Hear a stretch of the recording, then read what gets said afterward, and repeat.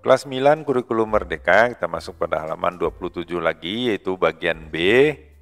E, mendengarkan audio 1-2, Andre dan Monita sedang membicarakan tentang habitat dari bekantan.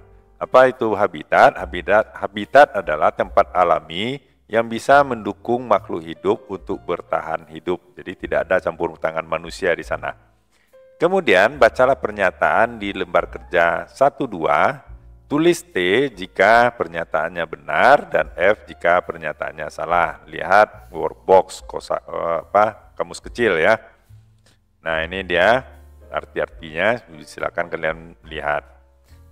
Gambar 1 2 bekantan. Nah lanjut bagian 2 habitat. Di judulnya di mana dia tinggal. Dia it ini mengacu pada bekantan ya. Bekantan dari Borneo bukan?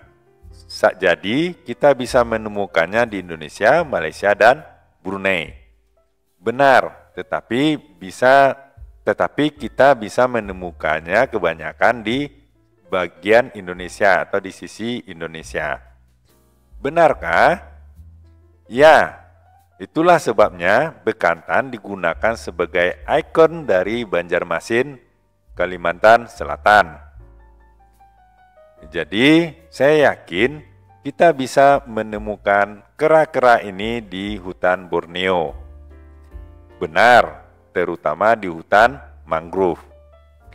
Kamu tahu enggak, mangrove adalah sebuah tipe dari hutan hujan yang bersua dengan lautan. Kemudian, jadi bekantan di, di, hidup di eh, pohon mangrove. Benar, mereka suka menghabiskan banyak kebanyakan waktu mereka di atas pohon. Lihat fakta ini, bekantan dikelompokkan sebagai binatang arboreal. Apa itu arboreal? Adalah e, binatang yang dikelompokkan yang biasanya hidup di atas pohon. Ucapkan lagi arbo arboreal, binatang yang makan, uh, tidur dan bermain di atas pohon. Nah itu dia uh, transkripnya. Sekarang kita me me memeriksa atau men menyelesaikan pernyataan berikut ini. Yang pertama, kita bisa menemukan bekantan biasanya di Kalimantan. Ya benar itu ya. Kemudian nomor dua,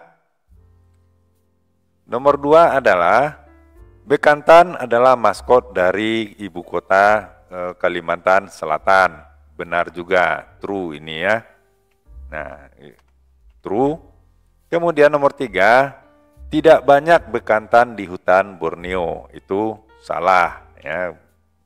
Kebanyakan dia ada kita temukan di uh, hutan Borneo atau Kalimantan. Nomor empat, mangrove itu adalah hutan hujan yang bertemu dengan e, pegunungan. Itu salah, mangrove itu bertemu dengan lautan. Nomor lima, binatang yang hidup di atas pohon disebut dengan arboreal.